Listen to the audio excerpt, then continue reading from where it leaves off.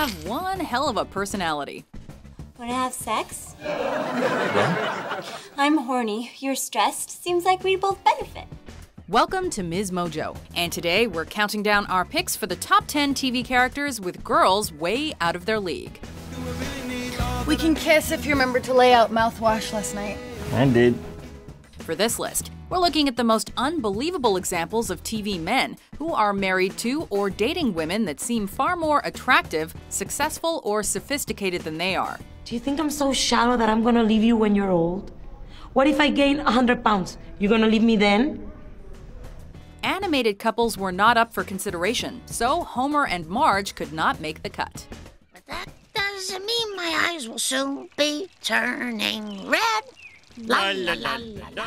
Number 10, Officer Don Leslie Orville and Sally Solomon, Third Rock from the Sun. Kiss me, Don. Kiss me like you've always wanted but never could.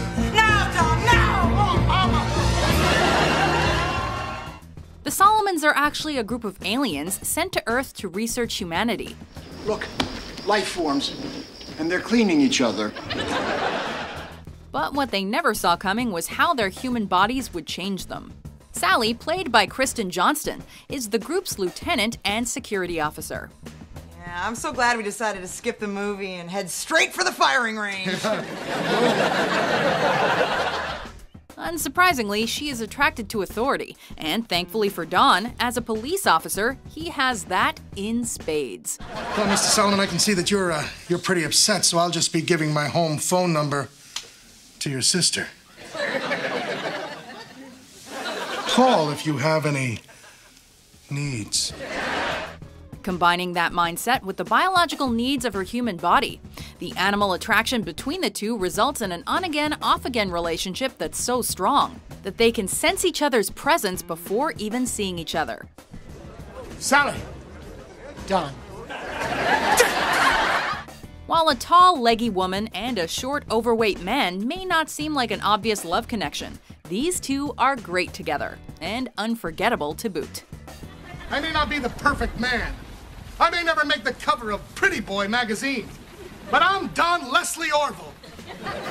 Number 9. Gary or Jerry and Gail Gergich, Parks and Recreation. I'm Gail Gergich. Gail, you're Gail. Jerry's beautiful wife.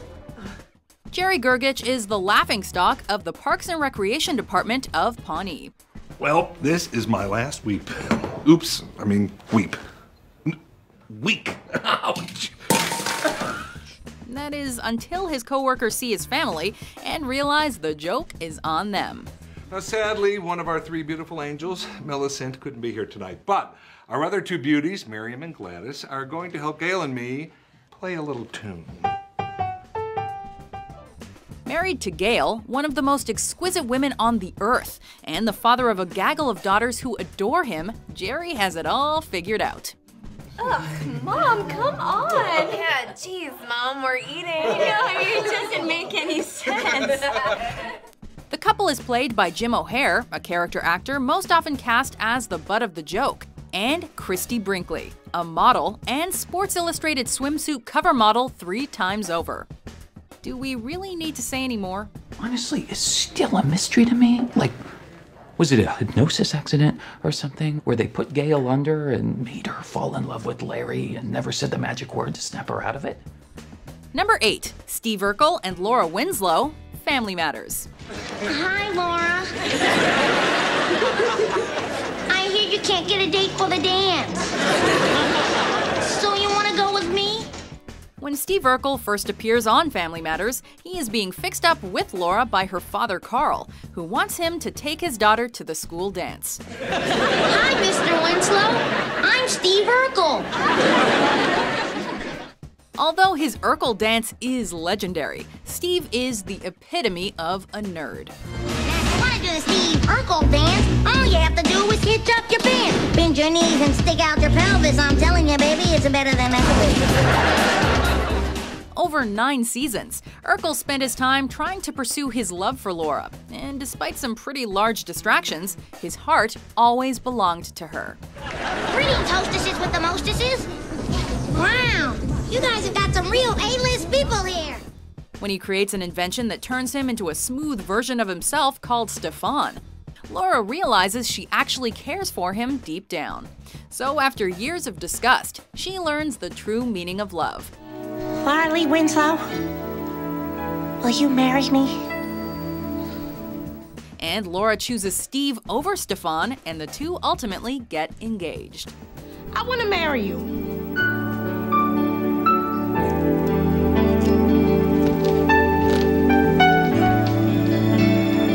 You do?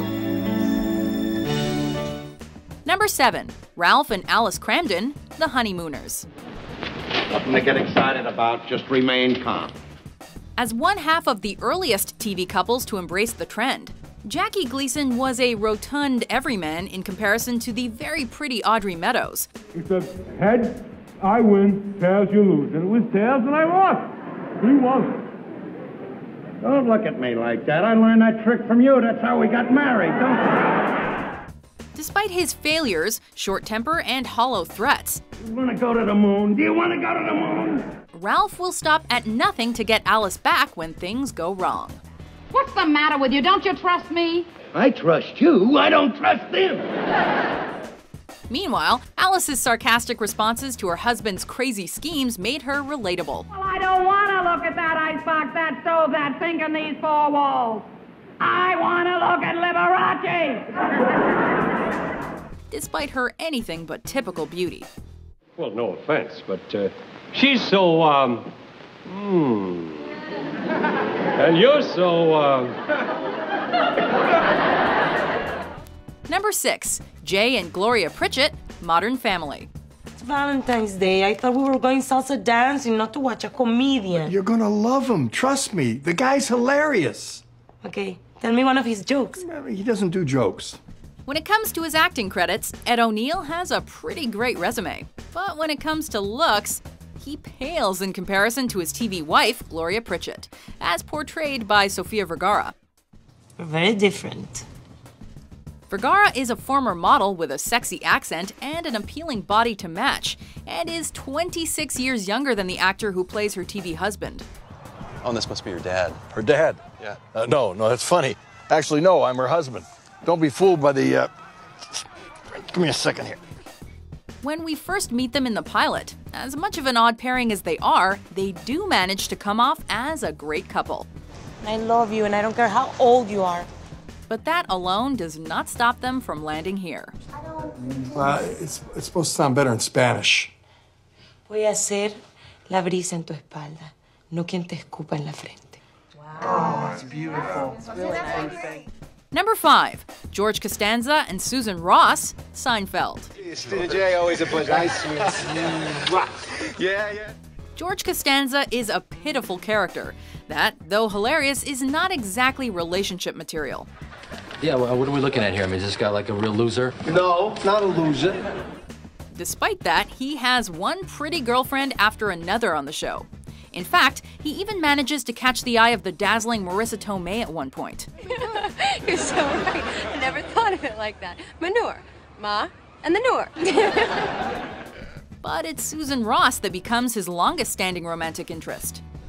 George, what is it? Will you marry me? She's an elegant woman who somehow becomes engaged to the short and petty man until her untimely demise due to a mishap with their wedding invitations.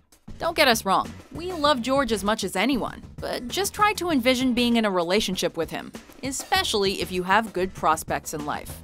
Yeah, this is my fiance, Susan. This is David. Oh, fiance. Boy, you could have done a lot better than him. Number 4. Todd and Melissa Chartres, The Last Man on Earth. Hey! I'm Todd. When a virus has ravaged the world and only a handful of people are still alive, Todd and Melissa meet and very quickly afterwards begin a romantic relationship. You are good. All right, your turn. Unlike some of the other shows on this list, however, we totally understand what brought them together. He is undoubtedly the most likable survivor, I donated one of my kidneys to my foster brother, Hector. while she is the most beautiful and down to earth. Yeah, again. Got it. That in no way downplays the fact that the overweight Mel Rodriguez is not at all as attractive as the gorgeous January Jones. We did it, Phil. Melissa and I had sex. No. Way. Number 3. Leonard Hofstadter and Penny, The Big Bang Theory. Oh, hi. Hi. Hi. Hi. Hi. Hi. The Big Bang Theory is chock full of couples that seem to showcase the out of his league trope, like Howard and Bernadette, for example. But it's Leonard and Penny that take the cake. But before you say anything, have you ever heard of Schrodinger's cat? Actually, I've heard far too much about Schrodinger's cat. A scientist and an unsuccessful actress. They make each other more well rounded, and they feel lucky to have each other. Don't push it. As a married couple, they take turns as to who has the upper hand in the relationship, which shows how great they are together, despite their issues. Leonard, I. You're not only the love of my life, I mean, you're my best friend. And. You've got a friend in me. So, why are they such an unlikely couple? Just look at them. If you don't see it, then we don't know what to tell you. How could you not tell me that? I wanted to tell you in the car, but you told me to stop talking. Number two, Doug and Carrie Heffernan, the King of Queens. Doug. What? He's making fun of my shorts again. He's five. Be the bigger man. Kevin James has had a pretty great career in Hollywood, having starred in movies and this television show. But it's pretty clear that his looks are not what made this all possible. Would you stop it? You're not fat. You're I know, husky. husky. Yeah, I'm husky. That's right. Leah Remini, on the other hand, is a former magazine cover girl who steals attention wherever she goes. You're so great. Oh, heck. So, in real life, the likelihood of them ending up together seems minuscule. You know, it has been 17 days since I've enjoyed you. and I assume it's been months since you've enjoyed me. To say that these two belong in different leagues is an understatement, as the only thing we can compare that to is a major leaguer playing T ball. But hey, that's what we've got TV shows for. I love you. Before we reveal our number one pick, here are some honorable mentions. Hot. Excuse me? Outside. I'm schwitzing like a pudding at a picnic. Huh. What? Coward. Moron. I hate you! I hate you! Remember the, the first night you stayed over, it rained and it rained. And then when the lights went out, we lit candles. God, so romantic. Don't you miss that? Well, we're having a nudist party with our fellow nudists. We're, uh, nudists. Oh my god, I love Terrific Lady Day. Yeah, you should, but you know what you're gonna love even more? Terrific Lady Night. Wow, Kate. You went all out. You deserve a kiss. Okay. Number one, Tobias and Lindsay Bluth Funke, Arrested Development. You're gay. No, no. I'm not. I'm not gay. No, Lindsay, how many times must we have this? While David Cross, the actor who plays Tobias, is by no means a beefcake. It's good. It's going to be good. And Portia de Rossi as Lindsay is quite obviously a stunner. It is obvious I'm not wearing a bra, right? I can't take this anymore. Their looks alone aren't enough for them to take the top spot. On top of the disparity between their physical attractiveness, Tobias is a down on his luck former anal rapist. And yes, we know that looks bad on a card. You were almost arrested for those business cards. Yes, no, it did not look good on paper.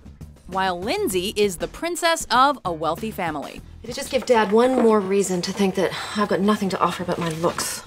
However, they are both broken people who can't actually bear to be apart for very long. So much so that he pretends to be a British nanny to stay close to her and their daughter. It was the exact plot of the film Mrs. Doubtfire.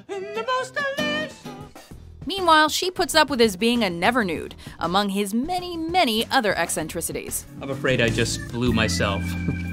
which makes them an unforgettable, albeit unequal pair. For me, Tobias. That too.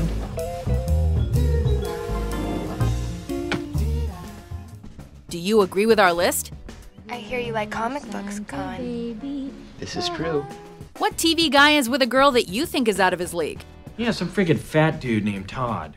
For more TV top 10s published every day, be sure to subscribe to Ms. Mojo. Why do we want that? Because there's a lot of gorgeous blondes out there who don't believe they can land as short, nearsighted scientists. Let's give them hope.